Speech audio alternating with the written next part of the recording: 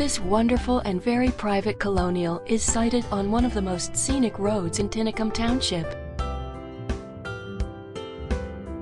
The residence is at the end of a long private drive and is nestled among 21 acres of woodlands and open fields, perfect for those seeking seclusion and equally attractive to the equestrian-minded.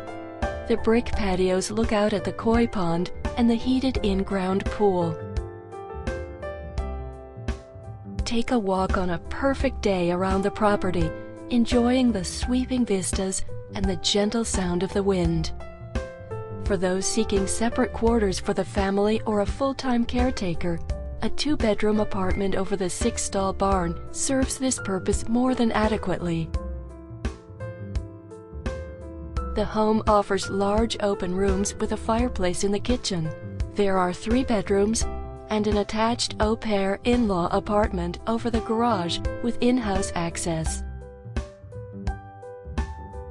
Iron Bridge Farm offers seclusion sought by today's buyers, yet difficult to find, as well as the aesthetic ambience of the gentleman's farm on which to spend long leisurely days.